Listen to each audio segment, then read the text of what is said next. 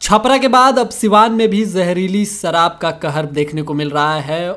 यहाँ पर चौकीदार समेत कुल पाँच लोगों की जहरीली शराब की वजह से मौत हो गई है। छपरा में जहरीली शराब से मरने वालों की संख्या में लगातार बढ़ोतरी हो रही है। इसी बीच सिवान में भी जहरीली शराब से मौत का मामला सामने आया है। सिवान में अब तक पाँच लोगों की जहरीली शराब पीने से मौत हो गई है।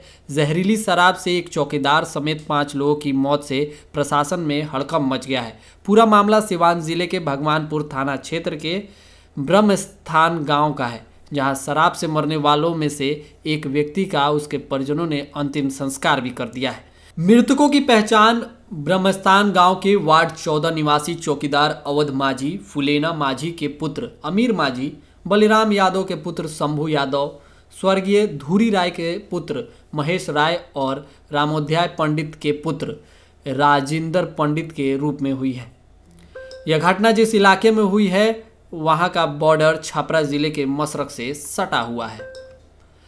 बताया जा रहा है कि बीमार होने के बाद अमीर माझी और चौकीदार अवध माझी को परिजनों ने बेहतर इलाज के लिए गोरखपुर के एक अस्पताल में भर्ती कराया था। अवध माझी की मौत इलाज के क्रम में गोरखपुर में ही हो गई। वहीं महेश राय की मृत्यु घर पर ही हो गई थी, जिसके बाद परिजनों ने आनंद फानन में उसका दाह संस्कार कर दिया। मृतक शंभू यादव के परिजनों ने बताया कि गाँव में ही शराब बेचने का काम किया जाता है। भाई ने बुधवार की शाम शराब पी थी। गुरुवार दिन तक बिल्कुल ठीक थे। रात में अच्छे से खाना खाकर वो सो गए, जिसके बाद शुक्रवार की सुबह जब उठे तो कहा कि उन्हें कुछ दिखाई नहीं दे रहा है। पूरे शरीर और सिर में दर्द की बात कहने लगे जिसके बाद उन्हें परिजनों ने भगवानपुर स्वास्थ्य केंद्र में भर्ती कराया जहाँ से उन्हें सदर अस्पताल रेफर कर दिया गया। यहाँ आने के बाद उनकी मौत हो गई। आ, मतलब पाँच सौ का दिन है, पी कर आए थे ठीक है? और खाना वाना खाए उस समय भी और कल ठीक थे ठीक है? और आज मतलब सुबह बोल रहे थे कि मेरे आँख से दिखाई नहीं दे रहा है। उसके बाद में बोल रहे थे कि सर में दर्द हो रहा है। फिर बो, बोल रहे थे कि बॉडी में दर्द हो रहा है। हम लोग लेकर गए भगवानपुर। सुबह के बात है। लमसम छः बजे के बाद छः साढ़े छः बजे। अस्पताल में? हाँ अस्पताल में। वहाँ से रेफर हुए कि सीमा लेकर जाओ। यहाँ आए तो उनका डेट हो गया। तो क्या लगता है कि कैसे हुआ है? कुछ पता चला है? वो पीने की वजह से हुआ है। दारू पिया दारू पीने की वजह से हुआ ये क्या थे ये मेरा बड़े पापा का भाई। क्या काम करते? थे टाइल्स का काम करते थे। टाइल्स का काम। उनका नाम क्या है? शंभू यादव। उनके पिता का नाम? बली राय घर? ब्रह्मस्थान। ब्रह्मस्थान? कौन थाना है? भगवानपुर था भगवानपुर ब्रह्मस्थान। आप उनके कौन हैं? उनका भाई हैं हम चचेरा भाई। लगता है कि क्या गाँव में शराब बहुत बिकता है क्या उस एरिया में? हाँ उसमें शराब बहुत बिकता है। बहुत बिकता है। लोग हुआ है? कुछ पता लगे आप सिंगल है कि और लोग को भी कुछ हुआ है? वो चार आदमी का मौत हुआ है। चार आदमी। रुके भाई कितना? कितने आदमी का मौत हुआ है? चार आदमी का हुआ है। चार आदमी मर गए हैं कि बच अभी क्या है? अ, मतलब एक आदमी मर गए हैं ठीक है? हाँ। अ, दो आदमी मतलब वो भी एक आदमी मर गए हैं और उसके बाद एक आदमी शायद गोरखपुर में भर्ती हैं अभी। एक आदमी गोरखपुर चले हाँ। और एक आदमी ये मरे एक आदमी। गाँव में कोई? नहीं अभी तो चार आदमी का मौत है और इलाज चल रहा है नहीं एक आदमी का चल रहा है गोरखपुर। जो गोरखपुर में मरे उनका क्या नाम है? उनका अवध माझी नाम है। कहाँ हैं? वो ब्रह्मस्थान के हैं। हैं वो भी ब्रह्मस्थान के हैं। उनका क्या नाम है? उनका अमीर माझी अमीर माझी और तीसरा ये शंभू माझी चौथा? हाँ। और चौथा वो महेश यादव। महेश यादव भी वहीं के रहने हाँ। वो मर गए वो कल का ही कल के मर गए कल सुबह का। चुके हैं, एक आदमी का इलाज चल रहा है। हाँ। हैं? तो उन लोग का अंतिम संस्कार हो गया है कि अभी एक आदमी का हो गया है। एक आदमी का हो गया किसका हुआ है? महेश यादव का। हो गया महेश यादव। पिता का नाम? उनके पिता का नाम पता है। ये सारे लोग एक ही साथ में रहते हैं वहाँ गाँव में?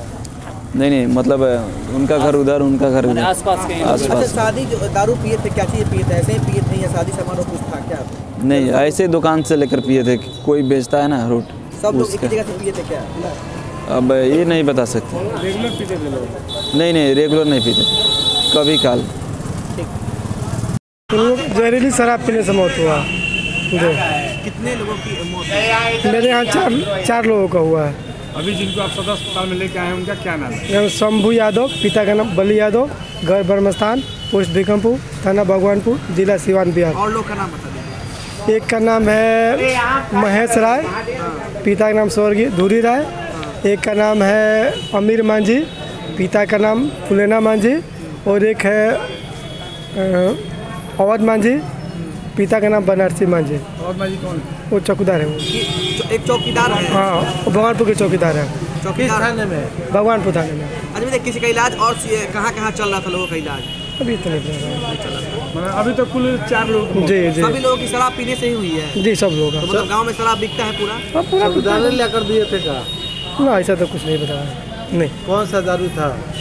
अब ये नहीं बता पाएँगे हम क्योंकि वो आजकल है ना सब ऐसा पता ना पोटली में क्या सब लोग बाँध बाँध के बेच रहे हैं सब जगह। तो गाँव में पूरा बिकता है? हाँ धर्मस्थान बाज़ार पे बिकता है।